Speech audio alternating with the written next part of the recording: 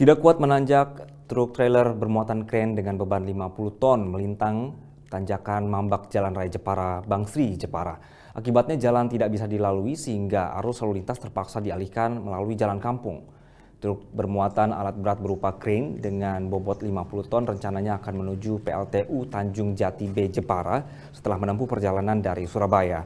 Ketika melintas di tanjakan Mambak, jalan dalam kondisi licin usai diguyur hujan. Truk tidak mampu melaju sehingga berjalan mundur dan untuk menghindari kendaraan yang ada di belakangnya, pengemudi menghentikan laju truk dengan membanting setir ke kanan. Akibat truk trailer, trailer ini melintang, jalan tidak bisa dilalui kendaraan lain yang akan melintas. Polisi terpaksa mengalihkan melalui jalur alternatif, yakni melalui jalan kampung.